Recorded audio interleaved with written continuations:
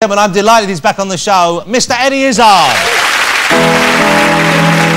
Money talks, but it don't sing and dance and it don't walk. As long as I can have you here with me, I'd much rather be forever in blue jeans, babe. Now, uh, I apologise. I, I guess it must be kind of uh, a bit uh, uncomfortable sitting back there for the duration of the Well, show. it's, you know, it's a bit, you know. But it's nice for us because we know you're there, okay? The audience know you're there. I know you're paying attention to the show, okay? And it gives me a great feeling of power. That's yeah. not a bad impersonation of a balloon going down. No, well, I, I think what you say is, is lies. Eddie, do you not trust me? Not really. I, th- I, th- I think that's the main thing you've engendered in the British public, is a lack of trust. Um, now, but, but in, a, in, a, in a good way. good. Of course, that's the only way you can not Like a doctor someone. with a bad, you know, one of those things with a spike on it. Well, speaking of doctors, are you or are you not to be the new Doctor Who? It has been in the newspapers that is in the runnings. Tom Baker, the fantastic Tom Baker, One of the best Who's. one of the best Who's, who put me, he put, who, he, who, uh, put me up for, he said I, he thought it would be a fun idea if I was up. I never put my name on the, on the form that came around from the government to say, would you like to be Doctor Who? That's just a box you tick if you don't want to be considered, Yeah, it's- it? it's- like, if you don't wish us to put your name down on the Doctor Who list, tick this box. It was, it came by and I just didn't register. They have my postcode, but um, I didn't. And, uh, but I'm, uh, it's back again. Be who? Be who? Be who? Be who? Be who what? Who? You be who for us? Is this a joke? You'd be a great who. Not, not. You'd be a good oh, who. I see. Wouldn't you? Why don't you be who? No, I can't because I got this other series. What series? Well, a series about monkeys and. Can't you squeeze who in? Uh, I play lead monkey, and uh, and it, it's a, it's it's been shot in Angola. Um, An Angolan monkey? Yeah, I can tell you now that's got no legs. Well, it might not work as a, as a, as a show, but I, I'm, I'm, it's what it's, I've got a script. Well, you're always It's- stretching yourself, It's called Monkey with a Limp, and uh, I'll have my lawyers on to you in the morning. you're doing Angel with a Limp. Well, that'd be a great film. We're doing Monkey with a Limp. When you act, Eddie, Yeah. if someone said to you, I want you to play someone with a, a slight disability, not a huge one, like a limp, Yeah. right? How would you go about working on that slight disability? How would you perfect it? I'd start by limping, Right. um, Good. and then I Would you hang out I'd with people with a limp and ask them if you could study them? Well, if it's well, if the person just has a limp, then Yeah. you probably wouldn't need to go to too many. A slight limp. You wouldn't need to immerse yourself in the limping community. You know what you, Um, you know what you could do? You could just put a little, a small stone, not a large stone, quite a Yeah. small stone in one of your shoes. gr- or just gravel, So Doctor Who, yes or no? Come on, say yes. No. Oh, why not? because you know. You'd be great, and it wouldn't it be a great thing to do? Seriously, it'd be a great thing to do. Well, you know, I just whoa. You grew up watching it, didn't you? no, no, I, I, used, I grew up watching it here. Well, there you go. Everyone watched it here, you see. Well, now you could get your revenge. Well, it's, it's like having Ant and Dec on the show. Look at that. They all do it behind that? yeah. Um, but you could get your revenge on the Daleks on the Cybermen. You could be the Doctor. You No, I think there's Tra- scripts and You everything. could be. Do you still do you still cross dress at all? I am a transvestite. I proved this to you with, with I don't know measuring I believe tape. I think it was a gimmick. However, listen, It's a tax thing. you could be a time travelling transvestite, the first cross dressing Doctor. That's what Tom Baker was going on about, your big noodle. Well, what? He was saying that I have a certain. Well, you didn't tell me that. How am I supposed to know that? What do you think? I'm a mind reader?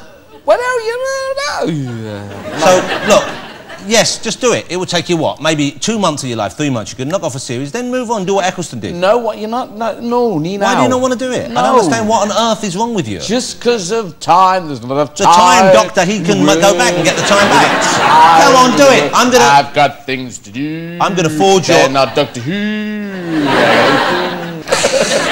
Now, Eddie, uh, despite his stupid reluctance to commit to Doctor Who, is one of the busiest uh, performers you could hope to meet. Uh, he's making movies, he's travelling, he's doing stand-up, he does movies, he does concerts, and so on and so forth. You've just come back from, uh, where is it? Some sort of foreign countries? Mars. No, you haven't. No, I was in Scan. I was in Nordic countries. I was. I was in Iceland. I played Iceland. So you're Nordic, hold it. They're up for it. I met Björk, and she said Björk to us, Björk with an umlaut. Björk. And uh, she said, "Hey, I've been watching. This was a few years ago. She said you go and play Iceland, and that actually that was over eight years ago. So I went and played Iceland eight years ago. Do and they I came speak back- English there? Did you just do it in They English gigs? speak English and Icelandic, Yes. and nothing else. So, okay, do you speak any Icelandic? No. Okay, so you did the gig in English. I did the gig in English because you've done gigs in other yeah, I do. French and I'm going to do German and Spanish, Italian, and good. things. But you know, I just thought they've spent all this time learning English. It would be churlish of Yes. me. It'd be like saying you needn't have bothered. You wasted all those years. Well, I, I- can't learn Hmm. all the languages, and they, the Scandinavian countries they're so good at English. It's, they're, even, they're even eight years better than they were last time. now, no, Nordic countries are not Scandinavian countries. No. What is the difference? Uh, Finland and Iceland are also Nordic countries. so you've got Finland, Norway, and Iceland. Yeah. They consider themselves Nordic. No, Finland and Iceland uh, are in the group with all the other three Nordic. Scandinavia is Norway, Sweden, and uh, Denmark. And if you add, if you say Nordic countries, you add Finland and Iceland. So only Finland and Iceland are Nordic. Yeah. Well, no, all five are Nordic. How can they all be All Nordic? five are Nordic. It's like Great Britain. But are they all Scandinavian? No, only the three are Scandinavian, and the other two like So they're the. Nordic countries, like I just said. All five are Nordic. no. Yes. Yes, but there were two only Just Nordic. believe me. I don't know whether to trust you. Well, I don't trust you. I'm. Okay, you well, on the level of no trust, then Right. I'll go with it. Okay. So, do you have a lot of fans in Scandinavia? Well, tickets sold out in seven minutes. So Wow. Yeah. Wow, how many tickets though? Three. Okay. and so, but you're, we've covered this before, but I'm always interested to find out you're still very pro-Europe. You're very pro the euro. You think we should have the euro and not the pound? No, well, that's no. At the moment, it's just there's this election going to come up, so we don't even need to talk about that. I just like people. Yes. You accept it, but everyone else, I can't swim with. You, I, I like going away. When I'm going on holiday, I'll be honest with you, Eddie, and this is where you're wrong, if you don't mind me saying so. When you go on holiday, it's fun to change your money to silly money, right? and then when you go, when you used to go to Italy with silly money, one billion billion lira, and you get a cup of coffee, it was great. You knew you were foreign. It was like, well, look where we are, bloody million quid, coffee, another million if I want sugar. That was part of the experience. Now, one euro. Same as bloody Ireland, one euro. I used to like getting into a taxi in some foreign land and. And they'd say 60 million drachma, and you think, is that two pence or a million pounds? Yes. And you would have no idea. Say, was go! fun. It oh my fun. God, I've given the mortgage money to the guy. It was good fun. okay, well, let's talk about films then. Um, Eddie was in one of the big uh, summer movies uh, of last summer, I guess it was, um, Ocean's 12, okay, uh, which is out in DVD in May. Now, this is what a, what a dream part to get, I would have thought, to be offered uh, an admittedly small role, but a role on that film with that cast. Yeah, well, it was it was it was fantastic. I got phoned up and said, "Hey, hey, hey do you want to come and do this role?" Who- said, who is that phoning you? That was just some bloke. Okay. And, uh, and I said, "Yeah." Uh, that was actually Jerry Weintraub. The, the it was Jerry Weintraub. I knew it. As soon as you did his voice, I knew it was Jerry Weintraub. but then he handed over to George. Okay, now, so George Clooney was there. Yeah, and George said, "Hey, Eddie," sounded very similar to, to Jerry Weintraub. yeah, Eddie, come and do the thing. We're in Amsterdam, and he was having fun. Okay, but that's the problem with the film because you're very good in the movie. You're very good in the film. I really enjoy. No, you are good in the movie. You said that to me last time. Uh, no, I didn't say that. You said that. No, I said you were good in the movie, that. but most other people are crap in the movie. It's not a good film. It's a shame. Don't take it personally. I'm not having to go at you. I've No, I you- I know, and I've heard, and, and I, I, I appreciate that. I just, I don't know what to say. I went, I asked Steven to do it Jonathan Ross's way. Yes. And, no, don't uh, be sarcastic. I'm not doing sarcasm. I'm doing ribaldry. Okay. Well, don't don't do stuff I can't pronounce. um, all right. This is a clip of Eddie in Ocean's 12 with a stellar cast. He's the best one in it. Have a look at this. Recreating the lighting conditions was a pain in the ass because it's a mixture of tungsten and real light, but I think the color rendition is pretty damn accurate. Batteries are in the base, two minutes maximum. You're good. It's good, Roman. You're a genius. Okay, um, I never got past that grid.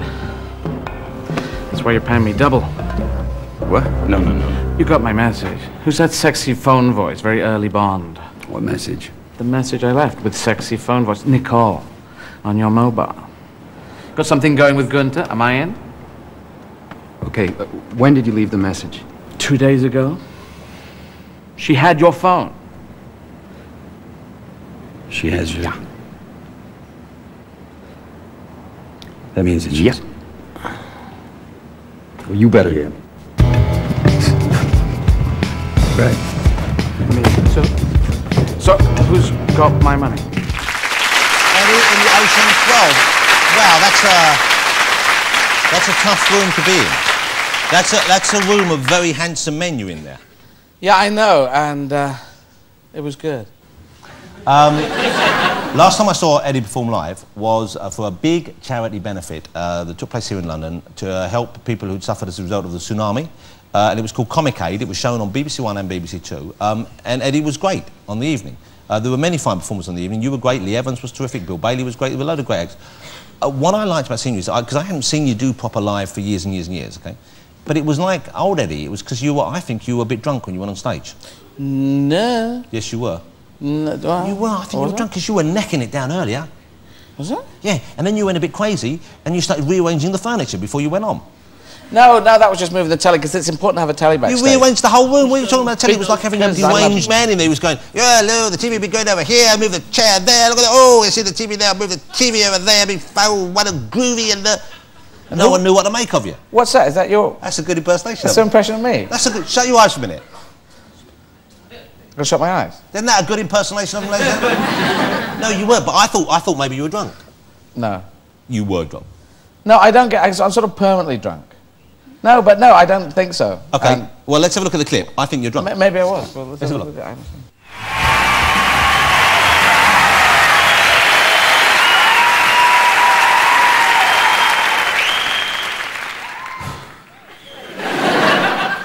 Moths.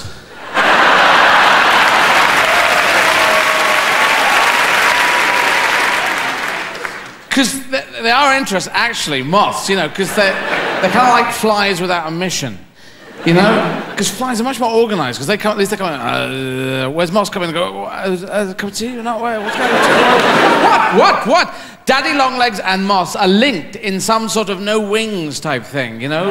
Daddy longlegs are much more. And Moss. and spiders are dangerous, and we know that they want to suck our brains out.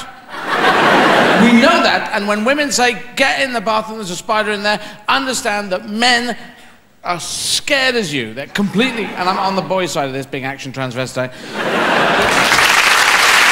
That was a back where you were ad libbing, admirably. Maybe you weren't drunk. No, that's not drunk. That's called comedy. Okay. Now, do you you like coming on? Do you like coming on the show? Did you? Yeah, you show? get paid for this. you. No, it's good, but you've you've No, you. no, You who? not you.